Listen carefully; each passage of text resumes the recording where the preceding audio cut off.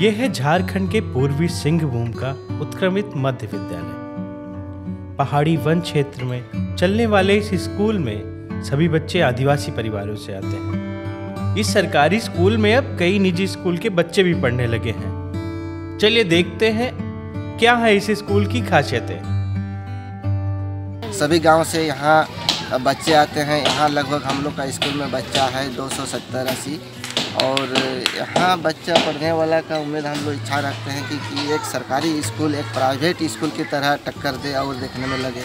या हर कोई का अगर कमी पड़ता है तो हम लोग विद्यालय प्रबंधन समिति बैठ करके या आपस में ग्रामीण से बुद्धिजीवी से राय लेकर के एक तो उचित निर्णय जो होता है वो लेकर के हम लोग विकास की ओर आगे बढ़ते हैं।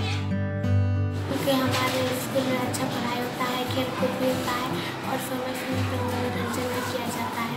आसपास का जितना भी सरकारी स्कूल है, वहाँ कुछ आज तक कोई भी स्काउट में गया नहीं है। हम लोगों का एक सरकारी स्कूल पहला है जो हम लोग को सर स्काउट मिले गए थे। हम लोग का स्काउट का खर्चा भी सर ही उठाए हैं।